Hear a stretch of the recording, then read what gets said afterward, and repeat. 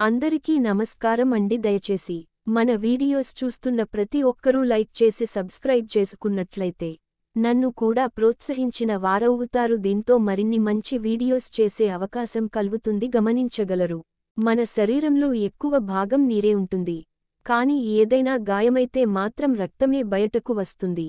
గుండె నిండా రక్తం ఉంటుంది. కాని మనసు గాయపడితే మాత్రం కన్నీళ్ళు బయటకు వస్తాయి. వయసు పెరుగుతుంటే జ్ఞానం పెరగాలే. కాని చులకన చేసి మాట్లాడే రోగం మాత్రం పెరగకూడదు. నీకు అవసరమున్నా లేకున్నా ఒకేలా ఉండు. అవసరం కోసం నటించకు. లోపాలు లేని మనిషి లోటు లేని జీవితం ఎవరికీ ఉండదు. సాధ్యమైతే మార్చుకోవాలి లేకపోతే అలవాటు చేసుకోవాలి. అంతే కాని మనసును గాయం చేసుకోకూడదు. జీవితంలో ధనం కంటే ముఖ్యమైనది మనశ్శాంతి. ఎందుకంటే దానిని ఎవరూ అమ్మలేరు కొనలేరు. నువ్వు నడిచే దారిలో అడ్డు వస్తే ఆపాల్సింది ప్రయాణం కాదు. నడిచే పద్ధతి. అలాగే చేసే పనిలో ఆటంకం వస్తే ఆపాల్సింది పని కాదు. ప్రయత్నించే విధానం.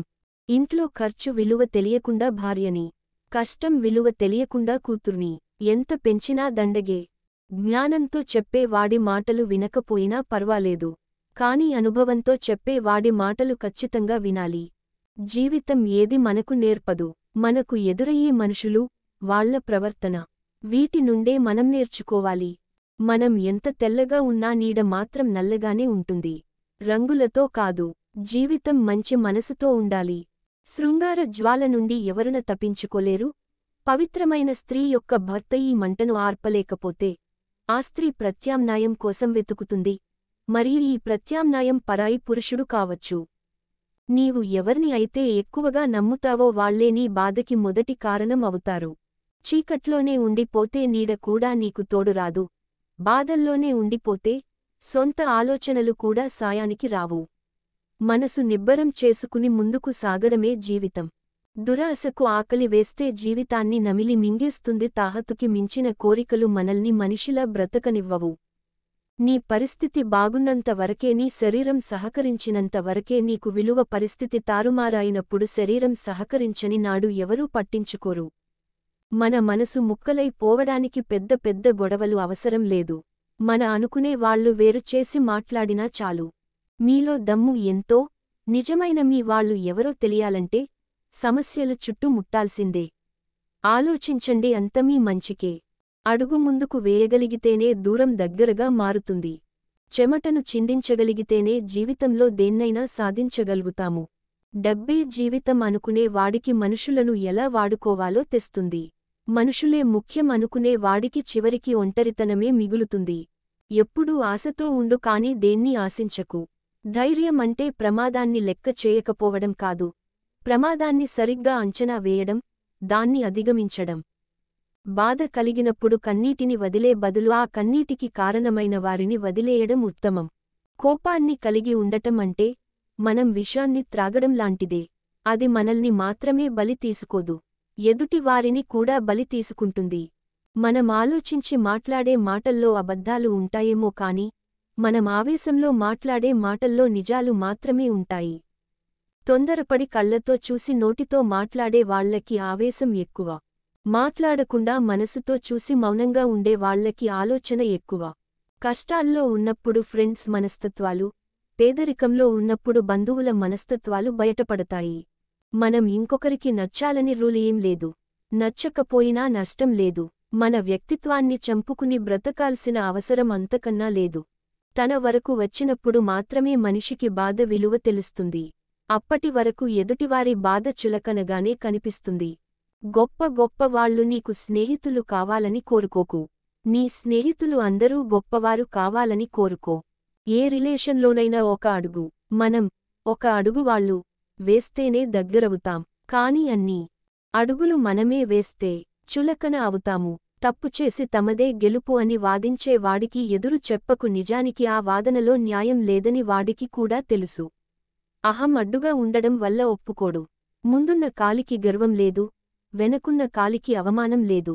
ఎందుకంటే ఆ రెండింటికి తెలుసు ఒక్క క్షణం చాలు తమ స్థానం మారడానికి అని. ముందున్న కాలికి గర్వం లేదు వెనకున్న కాలికి అవమానం లేదు. ఎందుకంటే ఆ రెండింటికి తెలుసు ఒక్క క్షణం చాలు తమ స్థానం మారడానికి అని. ముళ్ళు ఉన్న మొక్కకు నువ్వెంత నీళ్ళు పోసినా వాటి స్వభావం మారదు. అలాగే కొంతమంది మనుషుల విషయంలో నువ్వు ఎంత ప్రేమగా ఉన్నా ఎంత మంచిగా ఉన్నా నువ్వు ఎంత సహాయం చేసినా వారి వంకర బుద్ధి మాత్రం మారదు. పరిస్థితులు అనేవి మన ఆధీనంలో లేనివి. కాని మన ప్రవర్తన మాత్రం మన స్వశక్తిపైనే ఆధారపడి ఉంటుంది. కాబట్టి ఎవరి ప్రవర్తనకు వారే బాధ్యులు. గొడుగు వర్గాన్ని ఆపలేదు. కాని నిన్ను వర్షంలో తడవకుండా చేస్తుంది. ఆత్మవిశ్వాసం అనేది గెలుపును తీసుకురాదు. కానీ నీలో ఎటువంటి సవాళ్ళనైనా ఎదుర్కొనే శక్తినిస్తుంది. లైఫ్లో కొన్ని బాధలను మరిచిపోతేనే బ్రతకగలము. కొన్ని అవమానాలను గుర్తుంచుకుంటేనే ఎదగగలము. దూరంగా ఉన్న వారిని దగ్గరగా చేసే శక్తి దగ్గరగా ఉన్న వారిని దూరం చేసే శక్తి ఒక్క నోటి మాటకే ఉంది. అది కత్తి కంటే పదునైనది అమృతం కంటే తీయనైనది. ఒకరిని బాధ పెట్టి నీవు సంతోషంగా ఉండటం జీవితం కాదు నీవు బాధలో ఉన్నా మరొకరికి సంతోషం ఇచ్చేదే నిజమైన జీవితం. సముద్రంలో ఎటు చూసినా నీళ్ళే కనిపిస్తాయి.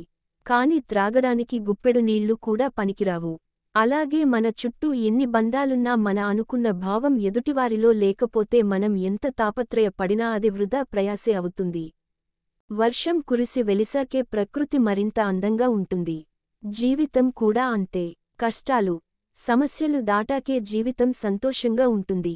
సందరాన్ని బట్టి మనుషుల్ని సమయాన్ని బట్టి మాటల్ని మార్చే వాళ్ళని నమ్మడం మనం చేసే మొదటి తప్పు.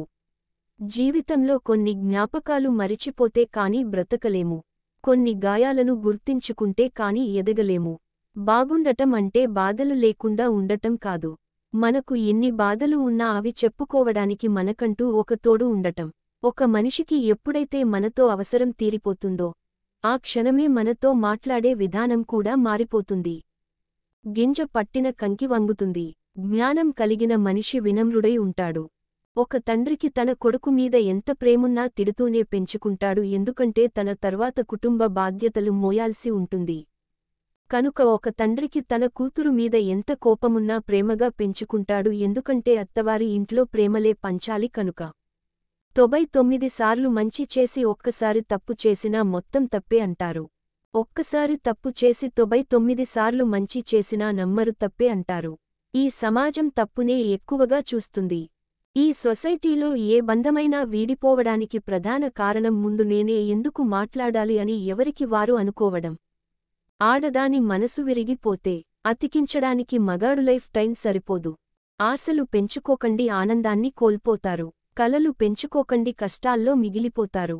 నీ పెదవి దాటిని చెవికి చేరిన మాట ఇక ఎన్నటికి రహస్యం కానే కాదు. ఎదగాలనే తపన ఉన్నవాడిని ఎవ్వడూ ఆపలేడు. టాలెంట్ ఉన్నవాడిని పాతాళంలో పాతేసినా వాడు భూమిని చీల్చుకుంటూ పైకి వస్తాడు. ఎదుటి మనిషికి సహాయం చేసే గుణం లేకపోయినా పర్వాలేదు కాని మోసం చేసే గుణం మాత్రం ఉండకూడదు. చేతిలోని డబ్బు నోటిమాట రెండూ విలువైనవే వాటిని పొదుపుగా వాడితేనే మనిషికి విలువ. నీకు ఇష్టమైన వారి కోసం ఓడిపోవడం అనేది నీకు ఓటమి అనిపించుకోదు. అది కూడా నీ గెలుపే అవుతుంది ఎందుకంటే గెలిచేది మనకి ఇష్టమైన వారు కాబట్టి. మీరు కోరుకున్నది వచ్చి మీ ఒడిలో పడిపోదు. మీరే వెళ్ళి దాన్ని సాధించుకోవాలి. ఎవరి ముందు ఎడవకండి. మిమ్మల్ని ఒదర్చే వారికంటే మిమ్మల్ని అలుసుగా చూసే వాళ్ళే చుట్టూ ఉంటారు. మీరు వెలుగులో ఉన్నప్పుడే ఈ ప్రపంచం మీ వెంట ఉంటుంది. మీరు చీకట్లో ఉంటే మీ నీడ కూడా మీతో ఉండదు. కష్టపడడం అనేది మెట్టు లాంటిది అదృష్టం అనేది లిఫ్ట్ లాంటిది. కొన్నిసార్లు లిఫ్ట్ విఫలం కావచ్చు కానీ మెట్లు ఎల్లప్పుడూ మనల్ని పైకి తీసుకెళ్తాయి.